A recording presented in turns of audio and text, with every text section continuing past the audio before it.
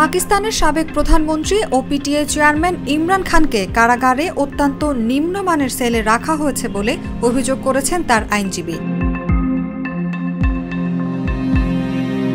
তার দাবি, সেলটি পোকা মাকুড়ে ভরা এবং সেখানে সাবেক প্রধানমন্ত্রীকে তৃতীয় শ্রেণির সুবিধা দেয়া হচ্ছে। গত পাঁচ অগাস্ট তোষাখানা মামলায় পিটিআই চেয়ারম্যানকে দোষী সাব্যস্ত করে তিন বছরের কারাদণ্ড ও এক লাখ রুপি জরিমানা করেন স্থানীয় একটি আদালত। এর পরপরই তাকে গ্রেফতার করে পুলিশ।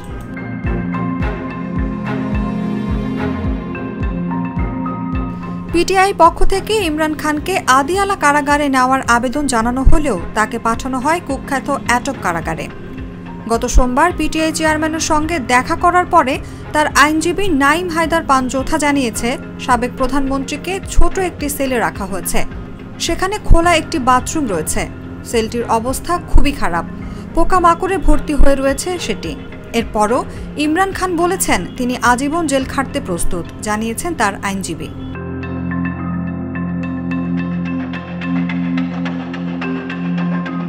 এদিন পান যৌথ অভিযোগ করেন, পিটিআই চেয়ারম্যানকে গ্রেফতারের সময় পুলিশ কোনো গ্রেফতারি পরোয়ানা দেখায়নি। এমনকি ইমরানের স্ত্রী বুশরা বিবির শোবার ঘরের দরজা ভাঙারও চেষ্টা করেছিল তারা।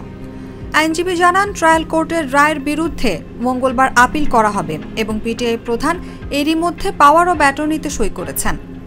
এর আগে দলীয় প্রধান ইমরান খানকে অ্যাটক থেকে আদিয়ালা কারাগারে স্থানান্তরের জন্য ইসলামাবাদ হাইকোর্টে আবেদন করেন পিটিআই। তাদের দাবি, শিক্ষা, অভ্যাস এবং সামাজিক ও রাজনৈতিক অবস্থা বিবেচনায় ইমরান খানকে আরও ভালো বা কারাগারে প্রথম শ্রেণির সুবিধা দেওয়া উচিত।